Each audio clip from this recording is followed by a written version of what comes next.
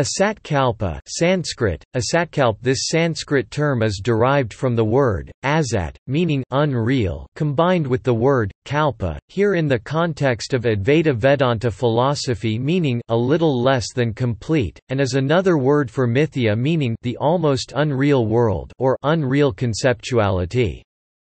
In the context of Yogacara school of Buddhism it is one of the three transformed modes of the mind which three are, parikalpa, the act of imagination, abh utaparikalpa, the act of imagining the unreal forms, and asatkalpa, the act of imagining the non-existent.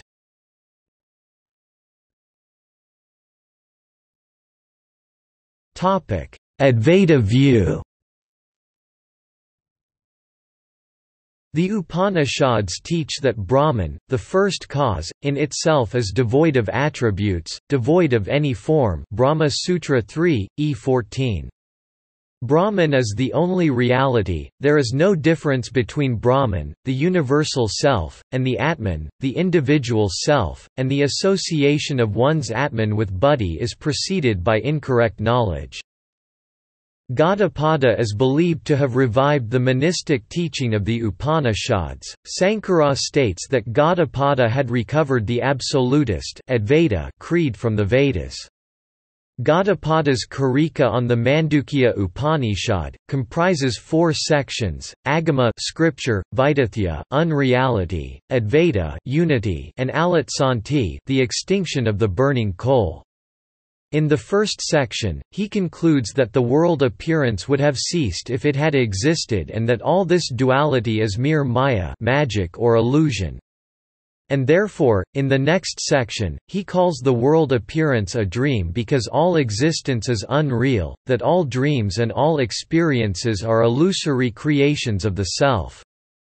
The mind perceives all things but he states that what is perceived by the mind is perceived as existing at the moment of perception only, and that which is unmanifested in the mind and that which appears as distinct and manifest outside are all imaginary productions in association with the sense faculties, for in reality there is neither production nor destruction.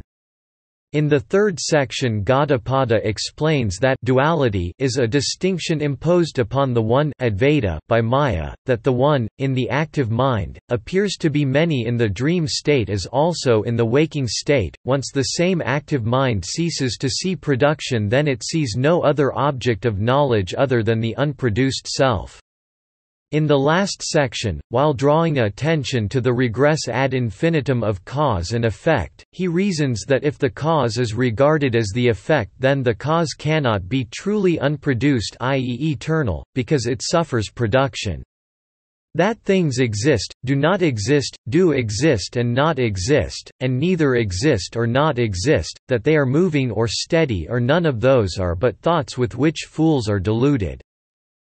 Sankara carried on the work of Gaudapada. In his Vivekachudamani Street 400 he reiterates Asatkalpo Vikalpoyam Visvamityekavastuni meaning, this variegated world imagined in the one entity, Brahman, is asatkalpa all but unreal, it appears but is not real. The phrase, Asatkalpo Vikalpo of this passage, means imagined unrealities. Vivekachudamani Street 528, for the mind is the cause of imagination of the unreal, it is the cause for the non non-existent imaginations and agitations.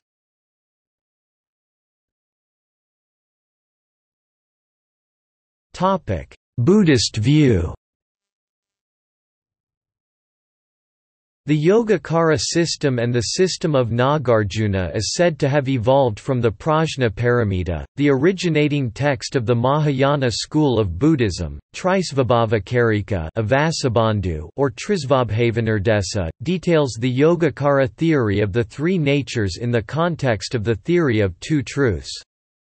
In the context of the conventional truth, it states that there are three natures of being svabhava, a the imaginary kalpita, b the dependent paratantra, and c the absolute parinispanna. The dependent nature is what appears depending on the causes i.e. vasanas, the beginning less potencies of desires associated with objects remaining in the subconsciousness in latent, subliminal form but conditions permitting revitalized pass into the consciousness, they appear in the mind as asatkalpa as, unreal mental creations or reactualization of the vasanas.